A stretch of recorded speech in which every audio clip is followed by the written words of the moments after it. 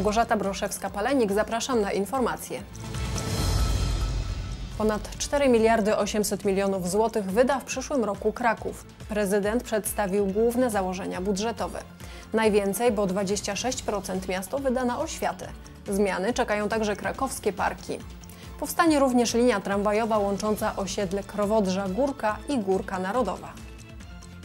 Do takich największych inwestycji w tej grupie to należy remont torowisk na przykład, to należy rozpoczęcie budowy tramwaju, mm, linii tramwajowej Krowodrza Górka, Górka Narodowa, przygotowanie budowy linii tramwajowej Krowodrza Górka Azory, rozbudowa Kocmyrzowskiej, Krzyżańskiego, Myślnickiej 29 listopada, a także budowa parkingów Park and Ride, Bieżanów, Kurdwanów, Mały Płaszczów. Przebudowa dalszego fragmentu Królowej Jadwigi, Lubostroń, Wrobela. Jest tutaj także to, co znalazło się w budżecie chyba dwa lata temu w budżecie obywatelskim, budowa tego toru motocyklowo-samochodowego, na który zagłosowali mieszkańcy. Program ograniczenia niskiej emisji i wymiany pieców przewidujemy wydać prawie 100 milionów. Zmienią się także parki Duchacki, Wiśniowy Sak, Bednarskiego, Lotników. Park Reduta będzie taką największą przyszłoroczną inwestycją, no i oczywiście rozpoczynamy zakrzówek. 29 milionów chcemy wydać na inwestycje programowe w dziedzinie kultura i ochrona dziedzictwa. Tutaj największą inwestycją jest, będzie oddane w przyszłym roku też Muzeum e, Podgórza. Takim wyzwaniem będzie rozpoczęcie modernizacji siedziby Muzeum Historii Fotografii. Także chcemy rozpocząć i tutaj muszę powiedzieć, że mamy bardzo silne wsparcie ze strony ISKOSK-u i Ministerstwa Kultury y, prace dotyczące obozu y, w Płaszowie. Dymem z pieca zabijasz. To nowa kampania antysmogowa, która obok prowadzonej już kampanii Tak dla czystego powietrza zachęca do wymiany ogrzewania na ekologiczne. O tym, że warto zmienić piec na nowy, przekonuje się już coraz więcej krakowian, dając temu wyraz w ilości składanych wniosków o wymianę pieca.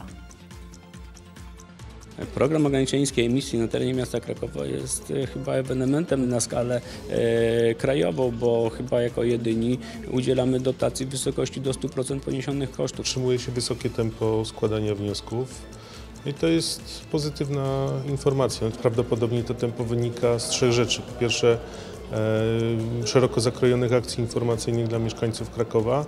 Po drugie, e, no, daty granicznej końca roku, gdzie można otrzymać dotację do 100% e, kosztów poniesionych na wymianę pieca węglowego. Najczęściej popełnianymi błędami we wniosku są niewypełnione wszystkie punkty formularza we wniosku. E, Nie ma zgód e, współwłaścicieli. Mm, Jest zła powierzchnia podana. Powietrze nie zna granic. Jeżeli nie zrobimy porządku także z powietrzem w całej Małopolsce, to nigdy nie dojdziemy do tego, co będziemy chcieli w Krakowie. Dusi się. Zrób coś. Takie kampanie informacyjne są bardzo ważne, ponieważ e, takie spoty w telewizji, w radiach docierają do mieszkańców i być może wpłyną na to, że mieszkańcy zdecydują się na wymianę kotłów. Dymem z pieca zabijasz. Zmień piec. Zadzwoń 12 63 03 100. W Krakowie zakończył się Open Eyes Economy Summit, czyli światowy szczyt ekonomii otwartych oczu.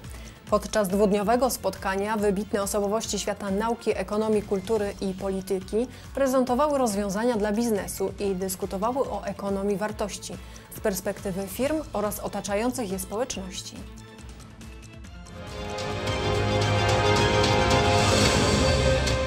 To jest y, jedyny kongres na świecie, który ma własną filozofię. Open Eyes Economy to jest y, filozofia otwierania oczu na problemy. ciągle e, dotyka nas globalny kryzys finansowy i często widzimy, że jeszcze jeden kryzys się nie skończył, a zaczyna się nowy. Żyjemy w trudnych czasach i musimy znajdować lepsze niż dotychczas odpowiedzi na to, jak reagować. My jesteśmy przyzwyczajeni do tego, że jest cała masa różnego typu konferencji w Polsce, które dotyczą biznesu. Ta jest, ma szerszy model, dotyczy biznesu, społeczeństwa, kultury, odpowiedzialności biznesu, odpowiedzialności społecznej biznesu, potrzeb, jakie ma biznes w stosunku do kultury i kultura w stosunku do biznesu. W to wszystko jest wmontowany także samorząd i państwo. Już się skończyły czasy, kiedy mówimy o biznesie tylko jako o biznesie. To musi być współodpowiedzialność za wszystko. Miasto Kraków, Okręgowa Rada Adwokacka i Okręgowa Izba Radców Prawnych podpisały porozumienie w sprawie udzielania bezpłatnej pomocy prawnej mieszkańcom w 2017 roku. Podobnie jak w tym roku, punkty nieodpłatnej pomocy i informacji prawnej będą zlokalizowane w 30 miejscach w Krakowie. To jest y, ograniczone wiekowo, powiedzmy sobie osoby do 26 roku życia i ponad 65 lat oraz ci wszyscy, którzy się także mieszczą w, tej, w tym przedziale, którzy korzystają z pomocy MOPS-u. Katalog osób, które korzystają z porad w ramach y, ustawy o pomocy, bezpłatnej pomocy prawnej jest ograniczony. To są z reguły ludzie albo bardzo młodzi, albo już w wieku emerytalnym. Przede wszystkim ludzie starsi. Społeczeństwo docenia możliwość uzyskania takiej porady i to, że mogą uzyskać poradę przed dokonaniem jakiejś czynności prawnej, przed podpisaniem umowy, przed złożeniem oświadczenia o przyjęciu bądź odrzuceniu spadku. Statuetki mecenasa kultury Krakowa 2015 zostały wręczone. Złotymi statuetkami uhonorowani zostali Fundacja Taubego na rzecz życia i kultury żydowskiej w kategorii donator, Kerher Spółka ZOO w kategorii sponsor i AMS SA w kategorii patron medialny. Trudno jest być mecenasem kultury w takim mieście jak Kraków, albowiem jest taka oferta rzeczy, które można sponsorować, że ciężko jest wybrać. Ale są firmy, które wybierają i stale przez pewien okres czasu, przez kilka lat sponsorują tą samą imprezę. Port lotniczy jest e, bardzo dumny, że może być mecenasem krakowskiej, małopolskiej kultury. Jest to ogromne wyróżnienie dla portu, dla całej społeczności e, lotniska. Wspieramy Muzeum Narodowe w Krakowie, wspieramy Zamek Królewski na Wawelu, teatry krakowskie. Promujemy różne koncerty, współpracujemy z Krakowskim Biurem Festiwalowym. My y, prowadzimy tą działalność już od 23 lat. Istniejemy w Krakowie 23 lata. 23 lata staramy się wspomagać y, kulturę krakowską. 22 krakowskie muzea już po raz 12 otworzą swoje podwoje dla zwiedzających. Poza wystawami, warsztatami, atrakcjami dla najmłodszych i pokazami filmowymi będzie można zobaczyć muzea od kuchni. Wstęp będzie oczywiście darmowy. Myślę, że to jest ciekawa oferta spędzenia e, tego wolnego dnia właśnie w muzeach, e, a jednocześnie jest to też forma promocji naszych muzeów, e, bo rzeczywiście wtedy pokazują to wszystko i całe bogactwo, którym dysponują. W każdym z oddziałów znajduje się, można powiedzieć, mała perła, na którą można na którą warto zwrócić uwagę. Począwszy od Europeum, gdzie mamy pokaz świętego, męczeństwa świętego Szczepana, wyjątkowego, można powiedzieć, na nowo odkrytego dzieła, a skończywszy chociażby na takich perłach, jakim są zwiedzania kuratorskie na wszystkich wystawach czasowych. Myślę, że warto odwiedzić Muzeum Narodowe. Reprezentacja Polski w siatkówce poznała swoich grupowych rywali w rozgrywkach na Mistrzostwach Europy w 2017 roku. Biało-czerwoni zmierzą się z drużyną Finlandii i Estonii. Wyzwaniem dla naszej drużyny będzie natomiast spotkanie z Serbią. Mistrzostwa Europy odbędą się od 25 sierpnia do 3 września 2017 roku. Sezon kolarski oficjalnie został zakończony. Z tej okazji znani i utytułowani wychowankowie klubu WLKS Krakus z Foszowice opowiedzieli o swoich osiągnięciach i planach na przyszły sezon.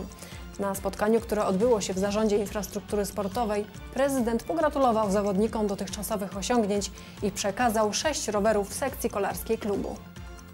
Sekcja kolarska ze Sfoszowic jest jedną z lepszych sekcji w ogóle w Polsce. To jest y, grupa, z której wyszedł i Rafał Majka, i Katarzyna Niewiadoma. Na pewno myślę, że ten sezon e, mogę uznać za jeden z, moich lepszych do tej pory, jaki miałam w karierze. Od początku do końca czułam się na równym poziomie, nie miałam jakiejś kontuzji czy złych momentów w trakcie sezonu, także to jest dla mnie jeden z najważniejszych elementów. Ten sezon był bardzo udany, idę coraz wyżej i rozwijam się w bardzo dobrym kierunku, a jeżeli chodzi o najbliższy sezon, to wiadomo, że chciałbym, chciałbym pokazać się z jak najlepszej strony. Wiadomo, że zawodnik nie ma zawsze dość i chciałbym pobijać nowe wyniki, czy na Giro, czy na, czy na Tour de France. Słynne wesele Lucjana Rydla z Jadwigą Mikołajczykówną, które stało się motywem wesela Stanisława Wyspiańskiego, odbyło się 20 listopada 1900 roku w dworku Włodzimierza Tetmajera.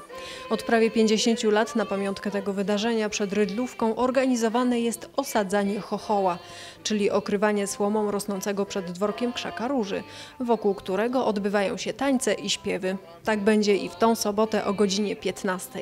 Wstęp wolny.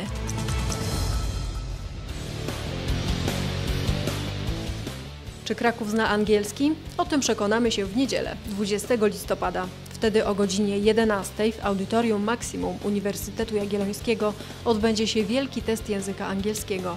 Zadania opracowane są przez specjalistów z Międzynarodowego Wydziału ETS, największej niezależnej organizacji na świecie, zajmującej się testowaniem i badaniami edukacyjnymi w obszarze języków obcych.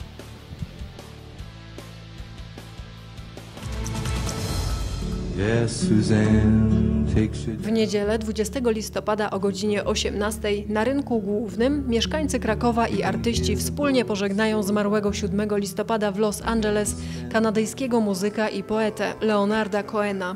Kraków, w którym w latach 80. odbywały się studenckie festiwale piosenek Cohena, chce oddać mu hołd, wspólnie śpiewając kultowy utwór Hallelujah.